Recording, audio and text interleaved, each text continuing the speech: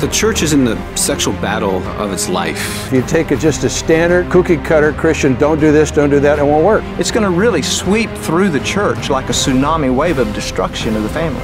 I had wanted to fly a jet aircraft since I was four years old. I wanted to be a fighter pilot. Hey. And so it was all I was living for. Still think you're a hot shot? You won't last 10 seconds in combat.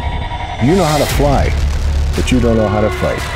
You have to understand how the enemy is personally bushwhacking you. Alpha Bravo, this is an ambush.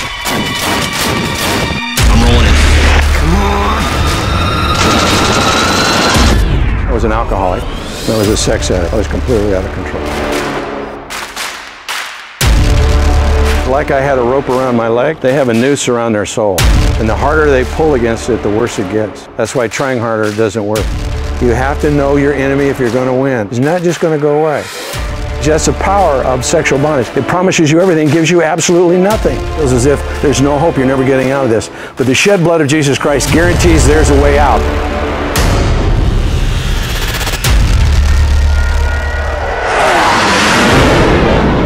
God guarantees you.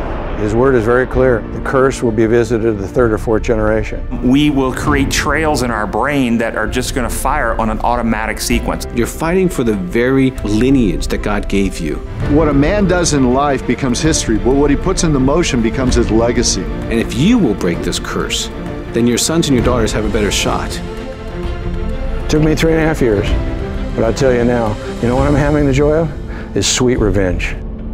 The very thing the enemy used against me as a weapon, now God is forged by the hammer of his adversity that he's brought in my life, by the hammer of his challenges, by the correction of my soul, and he's formed it into a weapon, and I'm taking sweet revenge against the enemy.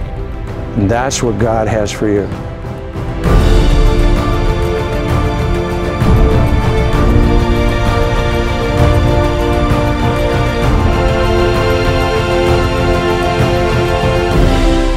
One bad day determine who you are and how you can fly. It will put a weapon in your hand that you can conquer and begin to help other men. I believe in you, Roberts.